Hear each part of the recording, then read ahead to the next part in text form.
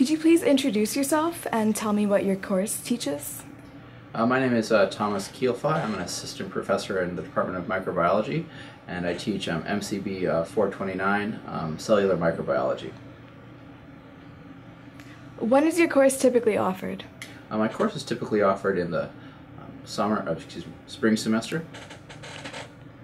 Can you give me a brief overview of what is covered in your course and what the learning goals are?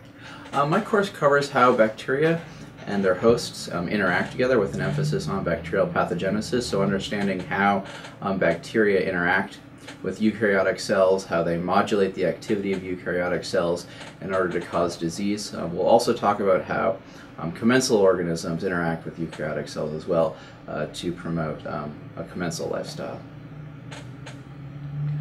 What is the format of your course? So the course is a combination of um, in-class discussion as well as um, lectures. Um, we'll, we'll, use uh, primary literature and we'll discuss the primary literature in class um, with seminars or excuse me lectures uh, providing uh, background material.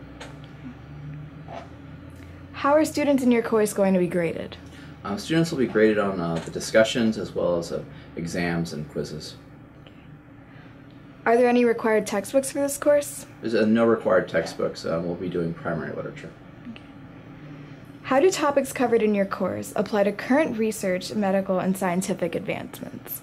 So we'll be ta talking about cutting edge um, uh, information here uh, using uh, the primary literature. So we'll be looking at uh, current topics, understanding um, the information ideas that are at the forefront of microbiology and the interaction between um, the host and, and pathogen.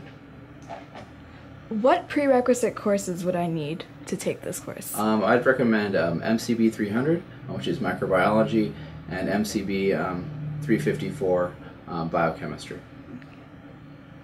Is there anything else that you would like to tell us about this class?